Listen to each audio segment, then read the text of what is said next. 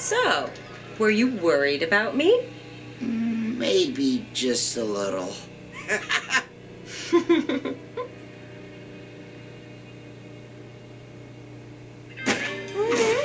Hey, Ed, I have a little surprise for you. Come with me. Oh, yeah, I love surprises. Except I just remembered that I don't. So tell me what it is so I'm not too surprised.